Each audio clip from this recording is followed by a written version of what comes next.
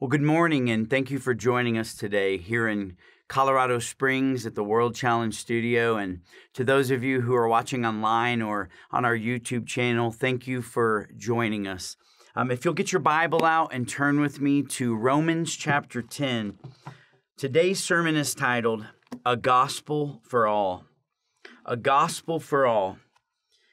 In Romans 10, starting in verse 5, it says, for Moses writes about the righteousness that is based on the law, that the person who does the commandments shall live by them. But the righteousness based on faith says, Do not say in your heart, Who will ascend into heaven? That is, to bring Christ down. Or who will descend into the abyss? That is, to bring Christ up from the dead. But what does it say? The word is near you, in your mouth and in your heart. That is the word of faith that we proclaim. Because if you confess with your mouth that Jesus is Lord and believe in your heart that God raised him from the dead, you will be saved. For with the heart one believes and is justified, and with the mouth one confesses and is saved. For the scripture says, Everyone who believes in him will not be put to shame. For there is no distinction between Jew and Greek, for the same Lord is Lord of all, bestowing his riches on all who call on him. For everyone who calls on the name of the Lord will be saved. And, brothers and sisters, this is the word of the Lord.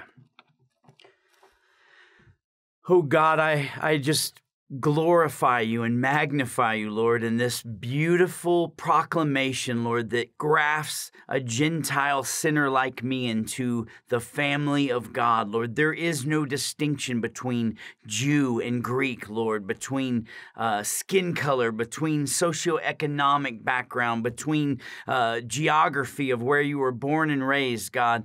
The Bible here says, All who call upon the name of the Lord will be saved, God. And so I want to thank you and praise you for that.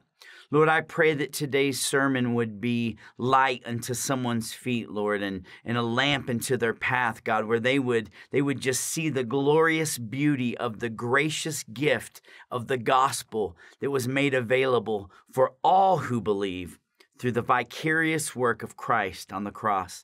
Lord, let us be drawn uh, by your Spirit, Lord. Let us be uh, j- just conformed to the image of Christ, God, as we, we rejoice in this beautiful text together. And we ask these things in Jesus' name. Amen. A gospel for all. This is the most important information in the history of the entire world. The God who created the world with the power of his word whom we were estranged from and damned because of our sin, has made a way for us to be reconciled to him. And he has invited us to be part of his eternal family. Now, the reason why this is often not great news to people is because they are sinners who are deceived and lost and blind. They don't really believe that, that God is too concerned about how they live their lives. So that's why it's so important to belabor the point that sin is damning and that God is God. This is the most amazing news in the history of the world for Jews and Gentiles alike. But you know, just to be honest with you, this is the most amazing news of my life personally. Now, we're here to preach the scripture. And so I'm not trying to superimpose myself on this text, but I have to share with you that I am a sinner saved by the wonderful grace of God. This news is so good to me because I became aware that I was a wretched, lost sinner. You know, I lived a great portion of my life as a, a rebel sinner who, who was entangled in all sorts of immorality and, and addiction and, and really just came to a point of desperation in my life. You know, I, I was an intravenous drug user. I've been incarcerated for, for many stints in my life. And it's because I, I lived to gratify the desires of my flesh.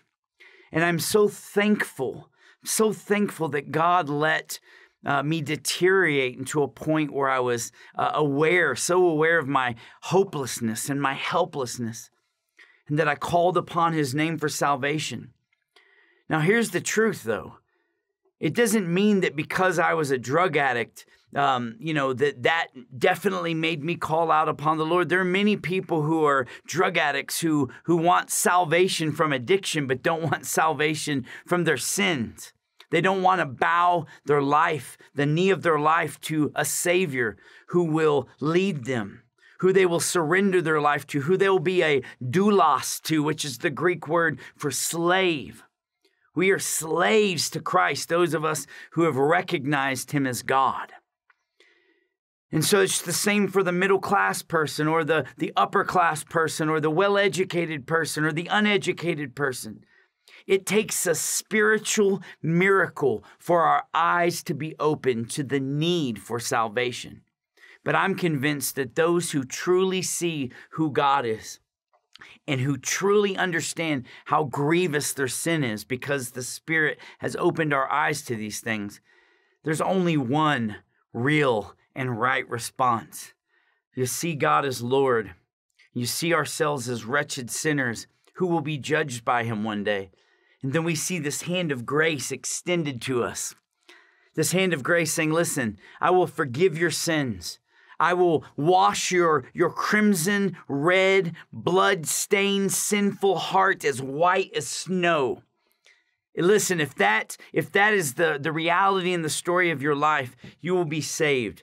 A truly saved person is grateful and thankful this is the best news in the history of the world. But like I said before, communicating to people that Jesus came to save sinners often isn't the hard part. The hard part is people believing that they are either too far gone for God to be able or want to save them, or that they actually really need a Savior. People often fall in one of two ditches. They think they're too bad that God would be willing to deliver them, or they think they're, they're too good to really need salvation all that much. Some might say the big deal is convincing people there is a God, but I, I honestly don't believe that is true because the Bible tells us that that is not true. The Bible tells us that deep down, everybody really knows that there's a God because nature has revealed it to us and, and just the basic logic shows us that something created us in this world and the complex beauty of it. The reason why we, we pretend like there isn't a God is we suppress righteousness for the sake of unrighteousness. We suppress the knowledge of God because we love sin and we love to be the lords of our own life. And I know you would think many people, wait a minute, they're really good people. They don't love sin. They, they, just, they just don't believe there's a God. They haven't been convinced. You may think that's true. They may seem like really good people to you, but there's something in them that doesn't want to relinquish control of their life. Listen to what Romans 1:18 says. For the wrath of God is being revealed from heaven against all ungodliness and unrighteousness of men, who by their unrighteousness suppress the truth. For what can be known about God is plain to them, because God has shown it to them. For his invisible attributes, namely his eternal power and his divine nature, have been clearly perceived ever since the creation of the world, in the things that have been made. So they are without excuse. For although they knew God, they did not honor him as God or give thanks to him but they became futile in their thinking, and their foolish hearts were darkened. Claiming to be wise, they became fools and exchanged the glory of the immortal God for images resembling mortal man, birds and animals, and creeping things. The Bible clearly tells us here that they knew God. You know there's a God. You, you, you fight against it, you, you press against it, you stumble against the stumbling stone, but we are foolish. We are obstinate. We are selfish. We are self serving. Listen, we want to retain control of our lives. Deep down, we suppress the truth of God for the sake of our unrighteousness. And sometimes we think about people as being good in, in the sense of the, the, the external. We think of them being good because they do good works and they give to charity and they're, they're nice and they're friendly and they seem thoughtful and caring. But the truth is, the greatest sin that we commit against God in our fallen, sinful state is that we don't give God his due. No person in the history of the world has ever loved the Lord their God with all of their heart and with all of their soul and with all of their mind and with all of their strength for the entirety of their life. And as created beings, that is our proper service of worship to the God who created us. And because of this, we also don't love our neighbor as ourselves. And so this is unrighteousness. We suppress God's knowledge because we want to retain control of those things. Deep down, we suppress the truth of God for the sake of our unrighteousness because we love our sin and because we love the illusion that our life belongs to us and we can do with it as we please.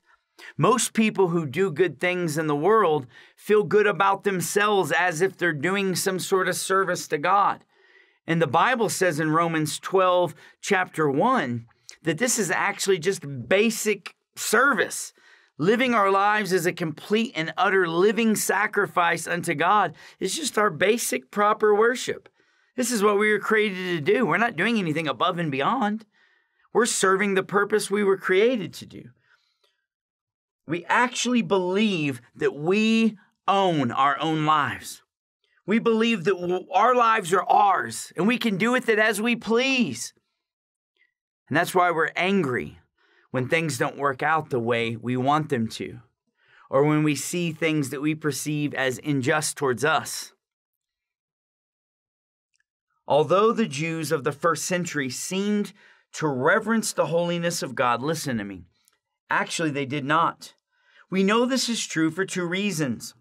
One is they rejected the Lord Jesus, God in the flesh, but also, and, and, and probably more obvious from this text, because they believed that they could earn their righteousness through good works. They believed that they were capable of keeping the law.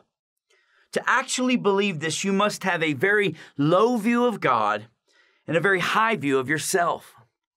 Now, oftentimes people would jump in and go, no, no, no, the, the, the Jews had a very high view of God. Like they, they were like, that's why they're so legalistic. That is not true. They didn't have a high view of God because they believed that they could somehow walk out righteousness. Any honest, real person who actually sees the holiness of God realizes, like the prophet Isaiah, that he is a man of unclean lips living amongst people of unclean lips. There is no possible way to come into the presence and the knowledge of a holy God and not feel humbled and to see the, the sort of despicable nature of your imperfections as you stand in the light that is gazing on you, that is blinding, that is consuming, that is penetrating. Another reason for this, too, though, is they had misinterpreted from the scripture that since they were ethnic Jews, that they would definitely be saved. And they also believed that the Gentiles were damned. So when they did try to to bring a Gentile in, basically they would they would try to make them live up to the law also. And Jesus himself said that you you would go to great lengths. You would take a trip across the sea to, to gain a convert. But once you did, talking to the Jewish leaders, you actually make them twice a son of the devil as you are. because you're teaching them to have faith in themselves, that they can keep the law instead of the faith that comes through Christ, the faith that comes in trusting God.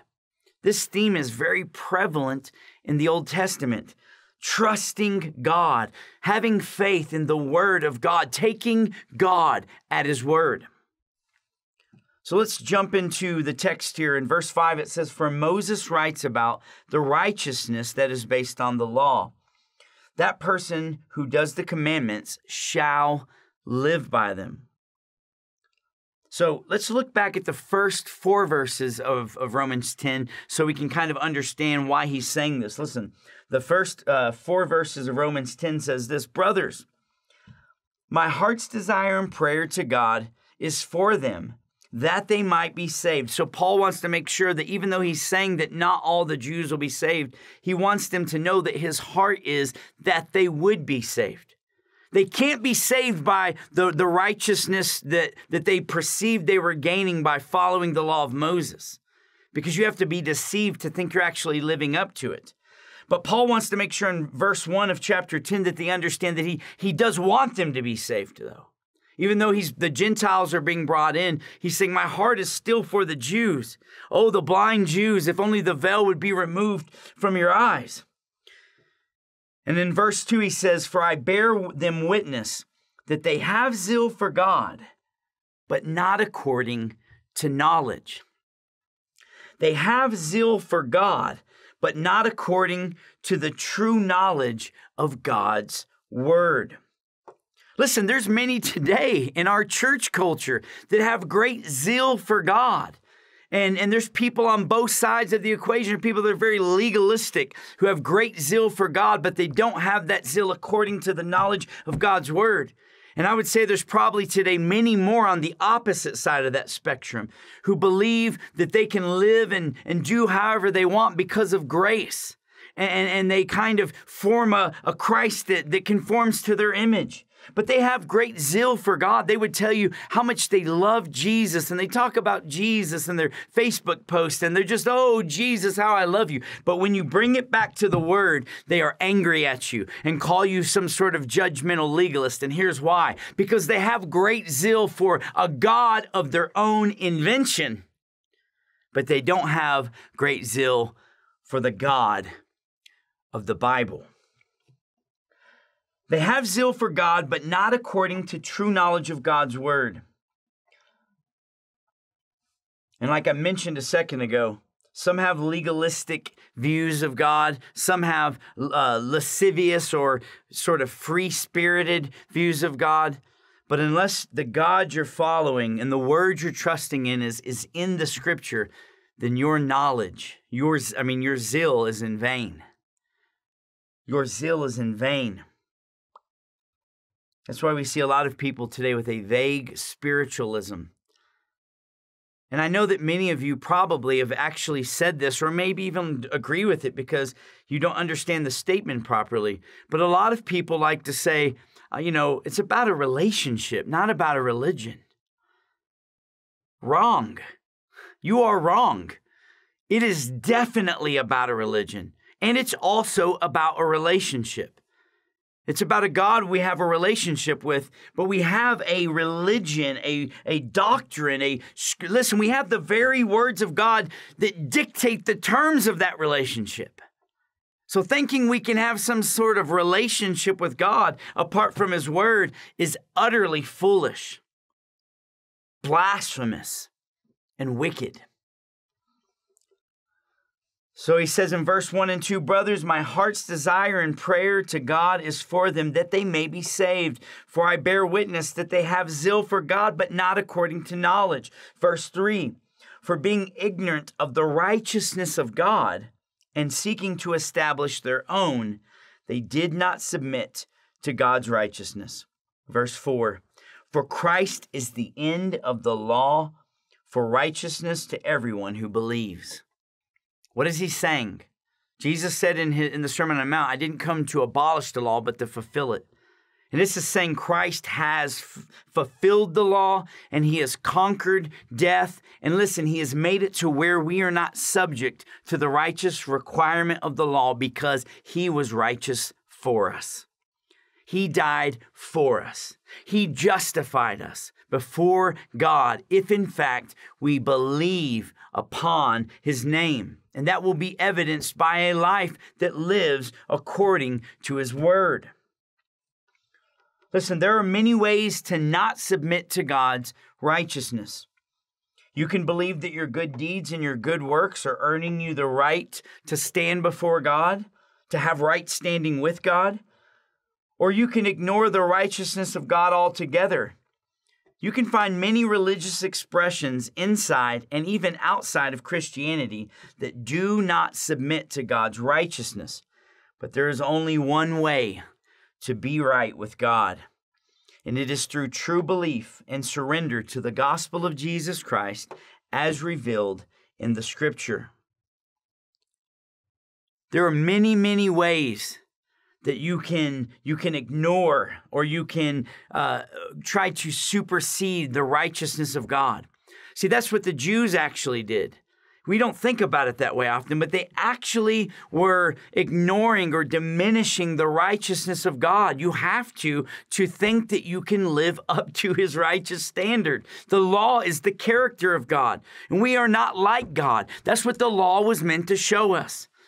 It was meant to produce deep dependence and and and gravitation towards the salvation of the Messiah. Now, sometimes in legalism we think you know that way but on the other side we don't think that way as much but we when we when we say we're spiritual but not religious or it's a religion not a religion it's a relationship and we we try to kind of just push the bible over to the side what we're really doing is we're we're doing the same thing the legalist does we're ignoring the righteousness of God, the righteous decrees of God, the righteous character of God, and the fact that no one is righteous, no one is good, no, not one. This is the narrow road to salvation that is found in Christ alone. Only God could save us from God. See, when we talk about the wrath of God and the judgment for sinners, sometimes we, we disconnect these two concepts. The person who is angry and wrathful and who will pour out judgment is God. So, by saving us, God is literally saving us from Himself. And He had to do it through the means of, of Christ because God's justice cannot be unfulfilled. He is fully just, and his wrath must be satisfied. God is saving us from God. Only God can save us from God. Just like much of humanity, humanity today, much of the Jewish leadership of the first century interpreted the Bible to suit themselves rather than to magnify and glorify God. Those looking for God, hear me, always find him. Those who want to be right with God will humbly submit themselves to his will and his word. There aren't, there aren't a bunch of people out there looking for God who aren't finding him. Matthew 7, verse 7 says this Ask, and it will be given to you. Seek, and you will find. Knock, and it will be open to you. Listen, for everyone who asks receives, and the one who seeks finds, and the one who knocks, to them the door will be opened. Then he gives a little example. For which of you, if your son asks for bread, will give him a stone? Or if he asks for a fish, will give him a serpent? If then you are evil and you know how to give good gifts to your children, how much more will your Father in heaven give good things to those who ask? Ask, seek, knock. The problem is is that humanity's not really seeking God. We might seek the things that God can afford us, but typically and mostly, mankind is not seeking God. The seekers who show up at your church typically are not seeking God.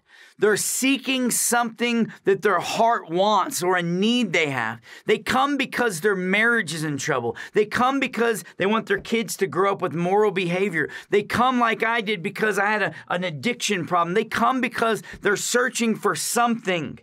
Listen, everybody wants the benefits of knowing God. We all want peace and, and, and we all want to feel loved and we all want to be provided for. We all want these things. But those who actually seek to know God and want to be right with God, those people will be satisfied. But Romans 3:10 tells us as it is written, none is righteous, no not even one. No one understands and no one seeks for God. All have turned aside together and have become worthless. No one does good. No, not even one.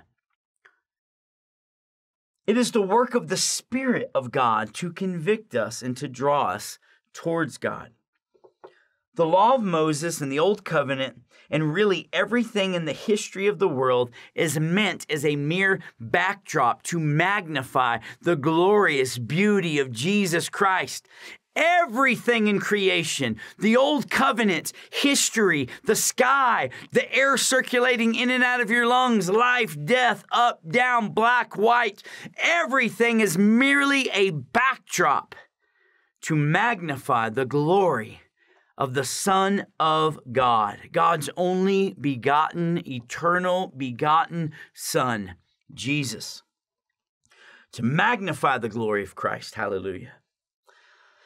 Verse 6 But the righteousness based on faith says, Do not say in your heart, Who will ascend into heaven? That is to bring Christ down. Or who will descend into the abyss? That is to bring Christ up from the dead. But what does it say? The word is near you. The word is near you, in your mouth and in your heart. That is the word of faith that we proclaim. The beauty of the gospel of Christ and the salvation that he affords those who put their faith in him and trust him. Listen, who understand that without God himself drawing near to us, that we were hopeless. These are the people that will be saved. We didn't find Christ, He found us. We didn't, didn't ascend to heaven to bring Christ down to our level. We didn't work our way to God somehow. Nor did we descend to the depths of the abyss to bring Christ up from the dead. We had nothing to do with him drawing near to us. We had nothing to do with him raising from the dead. We are merely benefactors if in fact we believe by faith that Christ's death was what is what's affording us eternal life, reconciliation with God. And because of this, we, we live lives of service to him. We are able to believe in our hearts. Listen, because of this, we are able to believe in our hearts and confess with our mouth faith that God drew near to us, that God laid down his life for us, and that God raised himself from the dead. The triune God, Father, Son, and Holy Spirit. Yes, Jesus came and drew near. He took on flesh. He died. He rose again. But the Trinity was completely part of that as God the Father decreed this from the eons of history, as the Spirit of God raised Christ from the dead, as Christ in his love and obedience to the Father came, walked among us, lived a perfect life, laid his life down after being brutalized, and then rose from the dead. He drew near to us. God drew near to us. Man, think about that for a minute. The God of heaven drew near to us. This is the beauty of the gospel. But it's also very tragic and ironic because, much like the Jews who rejected Christ in the first century, today in the West, we have churches on nearly every corner. And unlimited access to the Bible. In fact, many people who would deny Christ probably have multiple copies of the Bible in their house, or at least did growing up. We have unlimited access to God. We are blessed, and this is so tragic because these very people reject the God who took on flesh, the God who drew near. They reject him as Savior, which means they accept him or take them or listen, if you reject him as Savior, you are taking him as judge. There is no third option. Christ will either be the judge of your life who judges you based on you, or God will judge you based on the blood of Jesus that shields you and saves you and changes you. This is the word of faith that we proclaim. Jesus is Lord. Jesus came to save repentant sinners. Jesus is King. We are saved by faith. Not faith in our works, not faith in ourselves, not faith in our accomplishments, but by faith in the atonement Christ gave for us. He atoned, He paid the price, He drank the wrath of God from the cup of God's wrath. Christ secured for us on the cross and, and solidified by his resurrection that those who by faith attach themselves to the vine or have been grafted by Christ, really better said, into the vine, those people have nothing to fear because they have life abundantly. They are part of the body of Christ. And like the author, Paul says, they will not be put to shame. so we get into verse 9. It says, Because if you confess with your mouth that Jesus is Lord and believe in your heart that God raised him from the dead, you will be saved. So let's break this down. Our confession of faith is our pledge of allegiance to the Lordship of Christ. So often we hear about the confession of our mouth, and it has completely been bastardized by the world today, by, by the modern American church, and what I, uh, you know, so just despise, which is Christian decisionalism. This idea that if you say a prayer, these magic words somehow uh, make you right with God. We like to talk a lot about the confession of the mouth, but we really don't spend a lot of time talking about belief in the heart because that is where justification actually happens. The Lordship of Christ is what we are confessing. We are confessing that Jesus is Lord, and this will be evidenced by a life and a heart that follows Him and obeys Him. We are not doing works to be saved. We are doing works because we are saved. Our nature has changed. God has taken our, our broken, wicked heart and He has exchanged it for a new, regenerated heart with new passions and new desires. Listen, it doesn't mean you won't ever have temptation to sin because we're still in this old wretched body of death. But we do have a different path, trajectory, desire, and that is to obey Jesus. Jesus himself said, You know who loves me? Those who keep my commands. The problem with, with the gospel today is it's no gospel at all. We don't present the gospel to people. We tell people after we preach a 30 or 40 minute man centered sermon that if they would look into the camera and, and repeat this prayer, that now they're part of the family of God. I mean, people like Joel Osteen spend their whole sermon telling you how you can have what you want and you can do what you want and you can be rich and powerful and successful if you'll just speak it. And it's all about being the Lord of your own life and God is making this possible. And then he looks into the camera and says, And if you want to accept Jesus, just repeat these words. And people go, See, Joel, Joel talks about the gospel. Listen, if, if, if, if you came to me and said, You can have all the things your wicked heart desires if you just say this prayer, I'd be like, Well, sure, I'll take that, Jesus.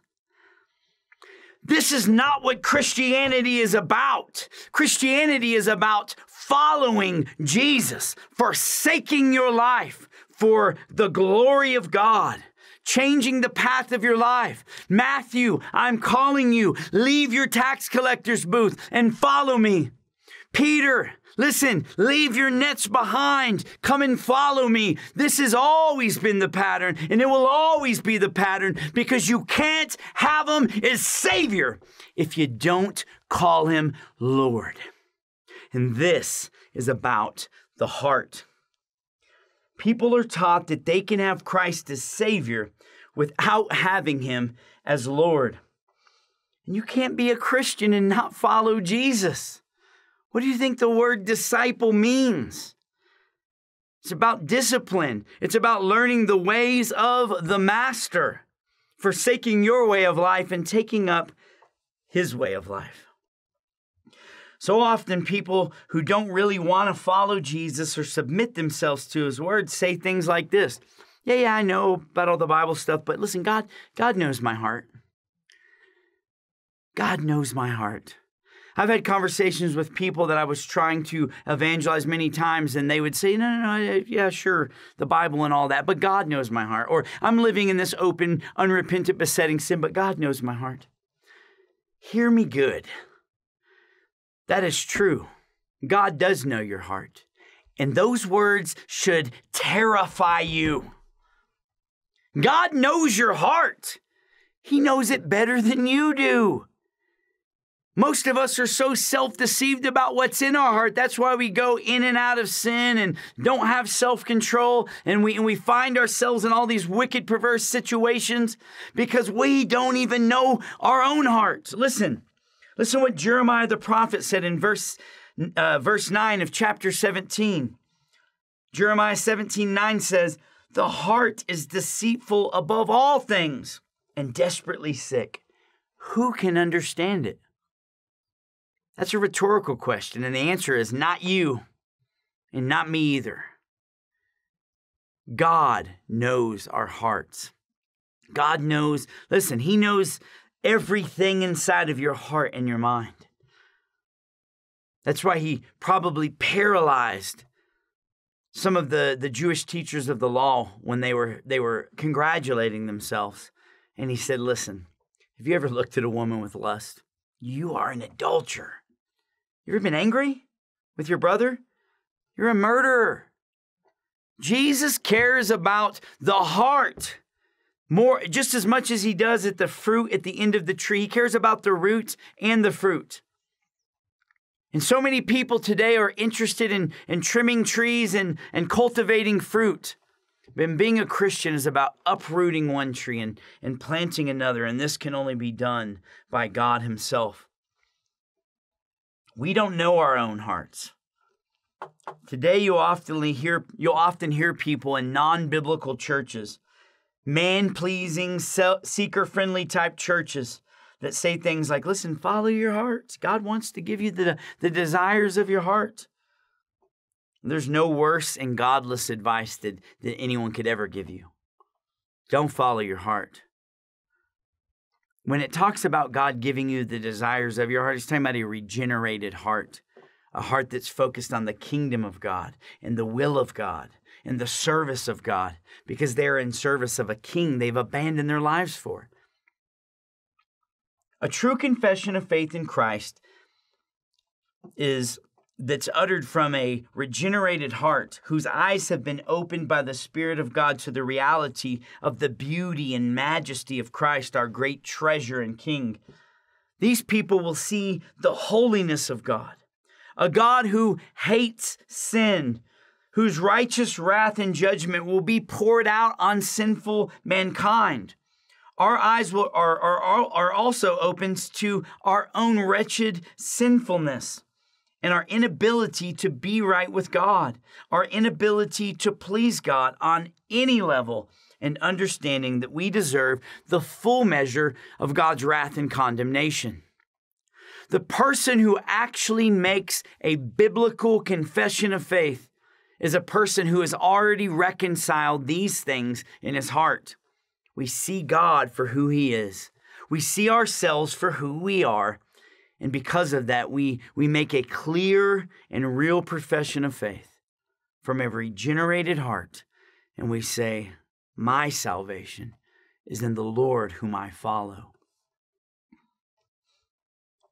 Because of these truths, we see Jesus and his sacrifice on the cross and his death defeating resurrection as the most beautiful unearned gift in the history of the universe, for which we are willing to fling our lives away in honor and service of him. To see Christ as anything less than immensely supreme, holy, worthy, worth any cost is to not really see him or not really know him and to not be known by him. The scary words in Matthew chapter 7, Jesus didn't say, Hey, you messed up big, or um, you were saved and you once were saved. He said, I never knew you. You were never really part of my tree. You may have did some Christian service. You may have done some Christian practice. You may have lived a life of morality by the world standards. You may have made a false profession of faith. You may have done these things for years or your entire life, but your heart was never reborn into the family of God. Depart from me, you who are lawless, for I never knew you. If you want to know what belief in your heart actually looks like, we know what a confession of faith sounds like, but a true confession that's, that's actually uttered from a regenerate heart that has been justified before God, here's what that looks like. Jesus said in Matthew 16 24, He told His disciples, If anyone would come after me, let him deny himself, take up his cross, and follow me. Follow your heart? No. Verse 25 says, For whoever would save his life will lose it. But whoever would lose his life for my sake will find it. Being a Christian is about giving up the illusion of control in your life. It's about surrendering to the Lordship of Christ. And we do this because our heart has been justified before God. He has opened the eyes of our heart, like Paul says in the first chapter of Ephesians. This isn't a call to earn your salvation. Listen, this is evidence that the eyes of your heart have been opened to the reality of Christ as Lord. You can accept Christ as a good man, a wise teacher, a prophet, an important historical figure, but unless you confess him as Lord from the heart, which means you have a reborn heart that longs to please and obey God, you are damned. You are cursed. You are under the curse, the Adamic curse, the sin uh, nature that you were born into and that you have perpetuated through the entirety of your life as you've lived estranged and in rebellion to God. Jesus is here to say, I don't want some of your time. I don't want a little of your money. I want it all. I want your heart. I want to be your all in all. And those who really belong to Him see Him as their all in all. Now, don't, if you're new to the faith or you have a, a, a very, you know, juvenile understanding of justification and sanctification, let me urge you by saying, I'm not saying you'll live a perfect life. I'm not saying you won't struggle with sin. I'm not saying you won't be led away by your, your sinful members or that your eyes won't get caught in lust or that you won't fall into some grievous mistake, or you're not still struggling to, to be conformed to the image of Christ in some place in your life. I'm saying at the very base of your heart, the, the, uh, the underlining goal of your life is to please God. And when you fall short, you mourn your sin and repent. And you cling to the, the rock of ages, the anchor who is Christ Himself. Merely confessing and acknowledging that Jesus is Lord, hear me, it's not enough. James, the half brother of Jesus, says even the demons do that. Listen to this James 2:14. What good is it, my brothers, if someone says he has faith but does not have works? can that faith save him? If a brother or a sister is poorly clothed or lacking in daily food, and one of you says to them, Go in peace, be warm and filled, without giving them the things needed for the body, what good is that? It's also by faith itself. So also, faith by itself, if it does not have works, is dead. But someone will say, You have faith, and I have works. Show me your faith apart from your works, and I will show you my faith by my works. You believe that God is one? You do well. Even the demons believe and shudder. Do you want this? Do you want to be shown, you foolish person, that faith apart from works is useless? Was not Abraham our father justified by works when he offered up his son Isaac on the altar? You see that faith was active along with his works, and his faith was completed by his works. And the scripture was fulfilled that says, Abraham believed God, and it was counted to him as righteousness. And he was called a friend of God. You see that a person is justified by works and not by faith alone. And in the same way was also Rahab the prostitute justified by works when she received the messengers and sent them out another way. For as the body apart from the spirit is dead, also faith apart from works is dead. This is one of the most sort of misunderstood scriptures in the Bible because people try to pit what James is saying here in the book of James with what Paul is saying in the book of Romans or many other places, especially the book of Ephesians. And they are not in conflict with each other. We are saved by faith alone. But that faith is not alone. That faith will be evidenced by the expression of our life. Faith is actually acknowledging and living according to the fact that you actually believe what you say you believe. That's the evidence of the regenerated heart. That you have, that, listen, you are taking God at His word. Abraham took God at His word when he laid the blessing, his blessed son, Isaac, the, the seed, the, the heir that would lead to the promised blessing of Christ. And he knew that God wouldn't go back on his word. So he obeyed him. Listen, that faith, that, that work didn't, didn't, didn't make him right. The fact that he trusted God did. Martyn Lloyd-Jones said in his uh, writings on the book of Romans, he said, To be saved, one must believe two truths, the Apostle Paul would say. Excuse me. Martyn Lloyd-Jones said, To be saved, one must believe two truths. The Apostle Paul would say, You must tell Jesus is Lord, and you must believe that God raised him from the dead. True knowledge and acceptance of these realities will be evidenced by a life of obedience and service to Christ. How about in 1 Corinthians 15 12? It says, Now if Christ proclaimed is raised from the dead, how can some of you say that there is no resurrection of the dead? But if there is no resurrection of the dead, then not even Christ has been raised. And if Christ has not been raised, then our preaching is in vain, and your faith is in vain. We are even found to be misrepresenting God because we testified about God that He raised Christ, whom He did not raise, if it is true that the dead are not raised. For if the dead are not raised, not even Christ has been raised. And if Christ has not been raised, then your faith is futile, and you are still in your sins then those also who have fallen asleep in Christ have perished.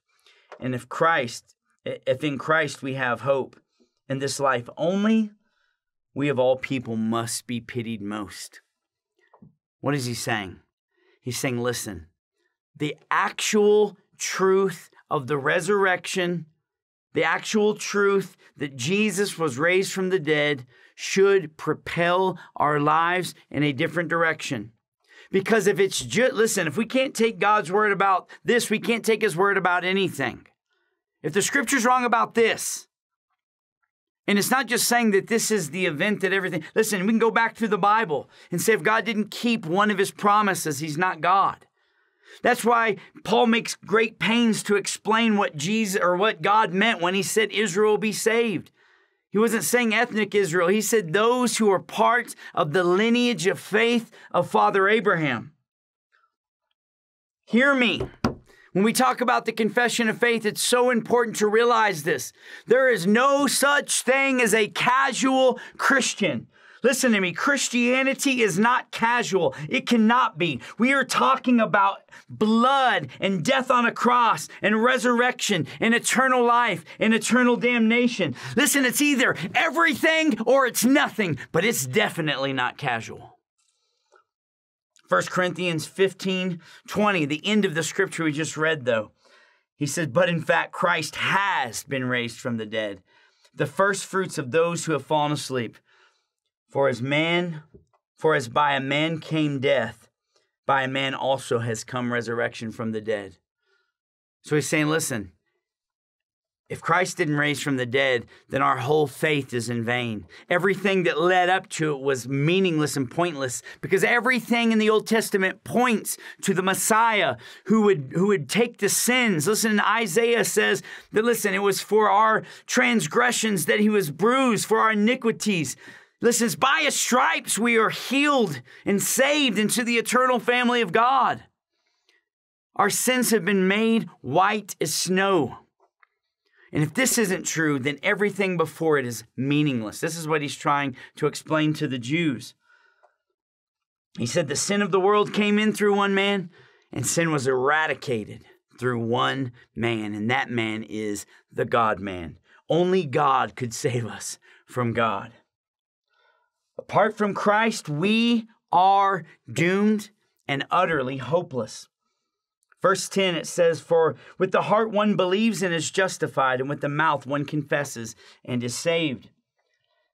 So it's through regeneration of the heart that we are justified before God because we have been given a new heart. We have literally been imputed or filled with Christ's righteousness. Like He transplanted it into us when He gave us a new regenerate heart. Listen to what the, the prophet Ezekiel says in Ezekiel 36 26, prophetically saying, I will give you a new heart, and a new spirit I will put within you. And I will remove the heart of stone from your flesh and give you a heart of flesh. And I will put my spirit within you and cause you to walk in the statutes and to be careful to obey my rules. Legalistic works didn't save us. We can't walk out the law to be saved. What this is saying is listen, we have been corrupt, our hearts have been corrupted, utterly corrupted by sin.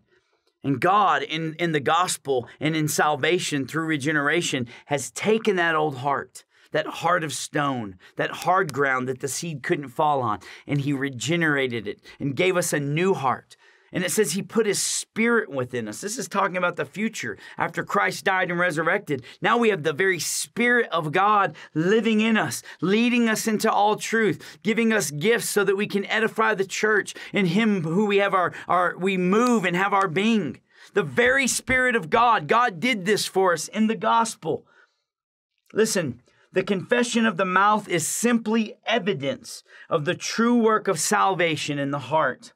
If someone merely confesses Christ but doesn't bear fruit, that person is not truly saved. But all who make a true confession from the heart will be saved. Here's the last three verses, starting in 11. For the scripture says, Everyone who believes in him will not be put to shame. For there is no distinction between Jew and Greek for the same Lord is Lord of all, bestowing his riches on all who call on him. For everyone who calls on the name of the Lord will be saved. Everyone who calls on the name of the Lord, who has been justified through true belief in their heart, will be saved. It's for the Jew and the Gentile. Abraham's true children are those who trust in Christ by faith for salvation. Many will confess that who will not follow, though. There will be many people who profess faith who didn't exit to the narrow path, and they think that they can have a broad road version of Christianity. Listen, Matthew 7 21 says, Not everyone who says to me, Lord, Lord, will enter the kingdom of heaven, but the one who does the will of the Father who is in heaven. On that day, many will say to me, Lord, Lord, did we not prophesy in your name, or cast out demons in your name, or do many mighty works in your name? And I'll declare to them, I never knew you. Depart from me, you workers of iniquity, or workers of lawlessness. Matthew 21 28 says, What do you think? A man had two sons. Now listen, before I tell you this parable, this is this is my closing. Before I tell you this parable, I want you to understand what this is about to talk about. There are many people who will make a confession, but they don't actually have the desire to follow Christ. They don't have a real regenerated heart. There's not real belief in their heart. They haven't been transformed by the gospel to see Christ as the immeasurable treasure of an abandoning their life for. And Jesus tells a parable in Matthew 21 28 that says, What do you think? A man had two sons, and he went to the first and said, Son, go and work in the vineyard today. And he answered, I will not. But afterward he changed his mind and went. And then he went to another son and said the same. He answered, I will go, sir. But then he didn't go. Which of the two did the will of the Father? He said the first, and Jesus said to them, Truly I say to you, the tax collectors and the prostitutes go into the kingdom of God before you. For John came to you in the way of righteousness, but you did not believe him. But the tax collectors and the prostitutes did believe him. And even when you saw it, you did not afterward change your minds and believe him. Listen, John the forerunner was preaching the message as the final prophet the final prophet in a string of prophets that said, Repent, repent, for the kingdom of God is at hand. And they didn't believe him. And Jesus says, Even when I showed up, you didn't believe the message of John. It's the message of the prophets. It's the message of the fathers and the patriarchs. This is the word of the Lord. Today, I propose to you repent and believe the gospel and be saved. All who call upon the name of the Lord will be saved. Just like in the story of the parable, it's not the profession of your mouth, it's what actually gets produced by it. One rejected him. I rejected Christ early in my life, but at some point I became aware of who he was. And now I'm a, a worker in the vineyard. All who make a true profession of faith will bear the fruit of repentance, a changed heart that will produce a changed life. A gospel for those who acknowledge their spiritual poverty, mourn their sin, meekly trust in Christ alone by faith. These will hunger and thirst to be right with God, and God promises they will be satisfied. There is no distinction between Jew or Gentile male or female, rich, poor, educated, simple, drug addict, prostitute, middle class, upper class, African, American, white, black, Chinese. It don't matter. There is only two groups of people those who are ejecting God into eternal condemnation and those who from the heart call upon the name of the Lord to be saved. There's nobody too far from God that he won't accept and transform. And there's nobody too good in this life that don't desperately need him him.